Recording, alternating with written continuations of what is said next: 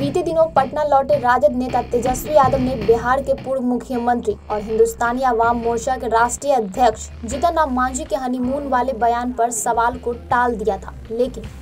उनके बड़े भाई तेज प्रताप यादव की ओर से इस पर तीखी प्रतिक्रिया सामने आई है तेज प्रताप ने मांझी को अपने बुढ़ापे का ख्याल रखने और संभल जाने की चेतावनी दी है आपको बता दें कि जीतन राम मांझी ने हाल ही में कांग्रेस नेता राहुल गांधी आरजेडी नेता तेजस्वी यादव और लोक जनशक्ति पार्टी के राष्ट्रीय अध्यक्ष चिराग पासवान पर निशाना साधते हुए तंज कसा था कि जब भी देश या बिहार में किसी प्रकार का संकट आता है तो ये तीनों नेता हनीमून मनाने चले जाते हैं लालू राबड़ी के बेटे और तेजस्वी के बड़े भाई राजद नेता तेज प्रताप ने इस पर पलटवार करते हुए कहा कि मांझी जी मेरे बगल वाले घर में रहते हैं कमरे में क्या क्या करते हैं हम भी पोल खोल देंगे उन्होंने कहा कि मांझी जी को अपने बुढ़ापे का ख्याल रखना चाहिए उनके बेटे का महिला पुलिसकर्मी के साथ लफड़ा हो गया था यदि मांझी जी बाहर जाएंगे तो हनीमून मनाने जाएंगे